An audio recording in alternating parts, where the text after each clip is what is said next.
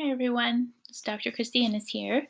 I just wanted to take some time to preemptively explain how you navigate Blackboard because there are usually a lot of questions in the first week. And I am not only teaching at U of L, but I'm also teaching at other places. So to try and cut down the number of questions that I get about Blackboard related things, I'm going to go ahead and just explain to you how you can navigate and what you should do for this first week. So to start, um, I'm actually not in student mode, so you may see a few things that I don't have here, but I do want you to just take a look at announcements every time you log in. You can click start here if you'd like. It has a sample navigation menu and like what each one of these things is. But more importantly, you're going to click on announcements every single time you log in. That's the very first thing you look at, and you want to look at the date that that was posted. Um, new announcements are going to show up at the top, but just double check when the announcement was posted. I'll try to keep them labeled appropriately. So to start, you're going to see this post, which hasn't yet uh, dropped, but you will first subscribe to my YouTube channel. So I'm going to click that and just show you how you will do that if you, well, that's not a good idea. If it won't let you click that directly, you can simply copy it and paste it into your browser. And when you get to my channel, you're going to want to hit subscribe. There will be a video there for you, um, which actually you're going to be, you're watching it now if you are in the right place. So um, this will be hyperlinked as well, and that's what you will click on. So you're watching the video to figure out how to do this. So I'm guessing you're getting through number one just fine. Number two is about Flipgrid, and I'm also going to link that. So when it's linked, you will go to Flipgrid. So I will show you where it will take you. And it's going to ask you to log in, okay? I am doing an, an educator login because that's my um, role, but you will sign up as a student. And when you do, you need to make sure that you sign up for with your U of L email address because I have uh, made our topic private so that no one else can just hop in and check out everyone's videos because that's not a good idea. Um, but when you are on that initial page, it's going to ask you to sign up in the middle. So when you do that, you're only going to see this particular topic. And um, when you click on it, it will have my video, which is an introduction video, but you will click on this and then you're going to do these things. And when you do it, you're actually going to record a response. So it'll prompt you to record a response. You can do that here. Um, you can watch other people's videos here. And you should be able to comment on them, though I was having some trouble with that earlier. Um, the point in this, though, is it's really difficult to build community in a class that's asynchronous online. So this is a good way to start. You get to meet people, even though you're not going to be talking to them in real time, um, hardly ever, if at all. So the third thing is you want to add a profile photo to your Blackboard account. You're going to want to do this in Microsoft Teams. Um, also, if you have to use that for another class, I don't think we're going to use it in this class. We might, but we'll get to that later. But when you want to add a profile picture, you got to go back out to this menu out here. So I'm going to jump out of our class real quick. And you want to click on your profile, which is over here with your name. See, I have a picture here. All you have to do is click the little, yours will probably look like this if you haven't put a picture. You're going to click this pencil and edit and add a photo. It'll allow you to crop and do all that kind of stuff. So once you've done that, then you will go back to our class. And number four is the Rings of Culture activity. So this is the first thing I want you to do. Um, and it says here that I'm going to give you instructions, which I am, about how to use the handout as a template. So if you take a look um, under assignments, actually, you know what? I am going to go back for just a second and add this to Unit 1. So when you're in your Unit 1 folder, which is here, you will see this document and what will happen is you will click it and it'll download. Once it's downloaded, you're going to open it as a Word document and it will make, it will give you the Word version of this activity. So you will read the questions and consider them, and then you will actually think about adding words or information to the different rings that are specific to you. Now, this is an image. So if you want to get fancy with it, you can um, add text boxes and add information into this image. Or if you're like me, you want to just customize these rings by um, making my own. So what I did, for example, was I printed out this graphic and then I started coloring and making pictures and adding words that explain my age culture, my gender culture, so on and so forth. If you don't want to have a printer and you don't want to do that, you can use a blank piece of paper or a blank document and just draw it yourself. You can make them squares, they don't have to be circles, whatever you want to do.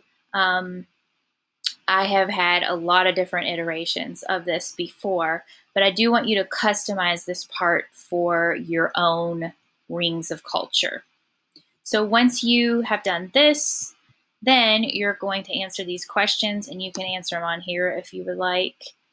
Um, if you decide to make your rings of culture on a different document, then I would like for you to either take a screenshot of it and paste it into here and just save this as one document, or you can take a picture of it, whatever works best for you. But I do need to see the customized version of this and the questions added to the discussion board.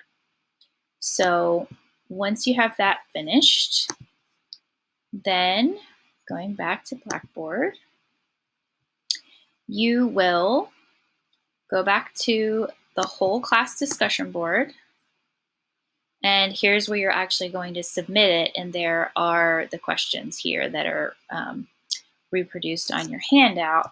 So you do not have to respond to your peers. But if you would like to, it's certainly a nice way to build community. Now you may say, wait a minute, these things are on the handout. Why do I need to repeat them? Well, everyone isn't going to download your Rings of Culture to look at it. So this is a way for you to just quickly, briefly post what you wrote or typed on your document so that everyone can see it. I, however, will download all of yours and grade them. Now, you're going to get all of your points if you do what I'm asking you to do. Make sure you read these, but um, I will actually look at them everyone in the class is not necessarily going to look at them, but it would be nice for everyone to be able to see your response to these questions so that we can all, again, start building community. If you would like to comment on your peers' posts, that would be awesome. And how you're doing that um, is here. Again, it's not required for points, but it would be nice for you to just get some practice in using this, particularly if you've never used discussion board before. So once you're finished with that, you're going to go back to announcements and see what's next. So after that, number five is to check your Blackboard writing group. Now, you won't have one just yet listed. So like I'm going to wait until um, Monday afternoon to probably to make the groups because we'll have people adding and dropping and all that kind of stuff. Um, but yours will show up somewhere around here, probably under my grade somewhere, and it will say my groups and you're just going to have one group. When you click on it, it will be much like a discussion board, but you will have your own group with just a few people in it from the class. This is where you're going to submit some writing drafts for peer review. So I just want you to look at it and make sure you understand how to use it. And if you have questions, you can reach out to your peers in the group or you can reach out to me. The next thing is very important, and that is to connect to Launchpad. So um, I'm actually going to put this in student mode real quick so that we can see what it looks like from your end. So when you click Launchpad, this goes with your textbook, by the way. You will see this, and you're going to click on this, where it says Launchpad for Everything's an Argument. Okay. you can see the ebook version of the textbook. You can see any grades that you end up having.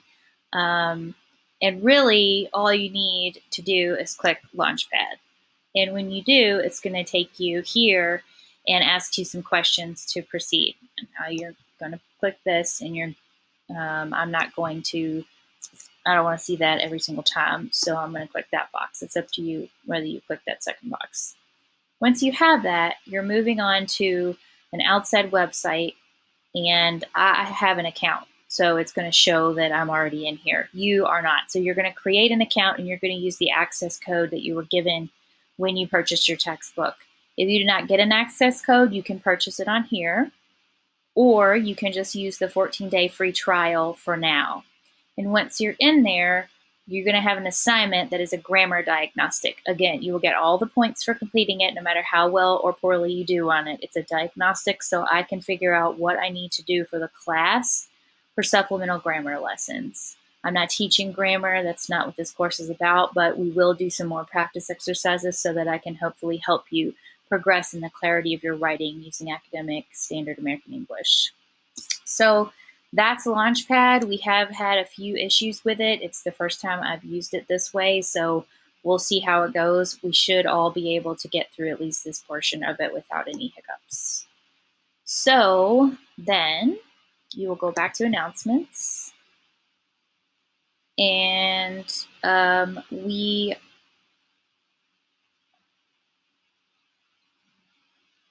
Oh, I forgot. That one's not published. Sorry. You're not seeing the one I was on yet if you're in your course. Okay, so then once you've done that, you complete the grammar diagnostic and you're done.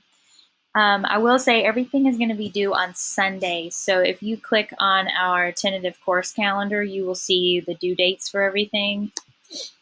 I have tried to post them for the entire course. Um, that's in the syllabus if you'd like to look at it, but this is just week by week. So here it tells you what you need to do and when everything is due. Everything's always due by Sunday at midnight, 11:59, unless I post something like draft due Friday, peer response due Sunday. For the most part, everything's due on Sunday. And everything's always due at 11.59 p.m. Um, I don't make anything due at arbitrary times. Ain't nobody got time for that. So uh, if you go back to announcements, you will see again that you have a short reading assignment this week. It's only 11 pages, and trust me, this is not super difficult reading. It's just about why we make arguments. And then in response to that, you're going to go to journal and complete the first journal. Now, no one will see this except for you and me. This is a conversation between the two of us. Um, I will grade it directly here and I will provide comments on it if I have any questions or you did not earn all of your points. Journals, you will always get all of your points for completion as long as you do everything I've asked you to do. Okay. So what you will do is you will respond and then I can comment and I over here can show, I can grade your entry over here and you'll see your grade with any comments. So I know that this sounds like a lot and I put this in the announcement, but we have to get through all these little organizational types of things in week one so that I can figure out where we're having issues with access, what's going on with people who are tr- having trouble with Blackboard. We got to get all that stuff out of the way because this is going to be a bit of a shortened semester and we just have to get rolling. So um, I prefer to just get it all out of the way in the beginning. So please let me know if you have questions after you have watched this video and you have tried to get through all the things and I will be grading things as they come in. I hope you have a great first week.